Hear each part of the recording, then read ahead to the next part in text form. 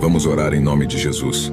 Senhor Deus e Pai, essa pessoa que parou para receber essa oração, Senhor, eu peço para que o Senhor, Pai querido, visite essa pessoa agora, onde quer que ela esteja, Senhor.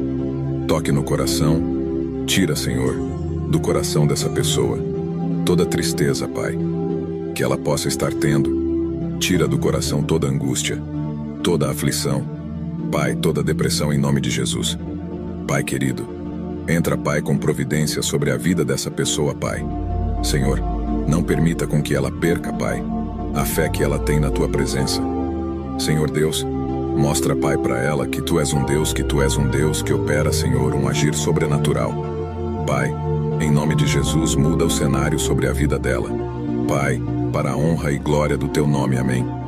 E se você recebe essa oração, já deixa aqui nos comentários o teu amém e compartilha essa oração para quem você quer abençoar nessa hora em nome de Jesus.